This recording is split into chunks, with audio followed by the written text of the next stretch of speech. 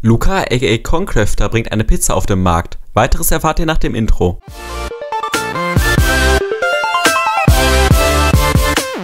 Bald könnt ihr eine Margarita Tiefkühlpizza von Luca im Supermarkt kaufen. Sie hat einen Durchmesser von 30 cm und kostet 3,99 Euro. Luca selbst verdient nach eigener Aussage an jeder verkauften Pizza nur 5 Cent. Am 17.10. verschenkte er einige Pizzen in einem Rewe. An die Verfasser der kritischen Kommentare schrieb er, gönnt euch einfach ein Stück und probiert sie. Wenn euch sie nicht schmeckt, gern weiter meckern. Aber nicht jetzt schon, das macht keinen Sinn.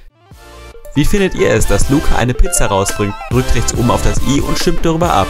Wie fandet ihr das Video? Über ein Feedback in Form eines Likes oder Kommentars würde ich mich freuen. Ich wünsche euch noch einen schönen Tag.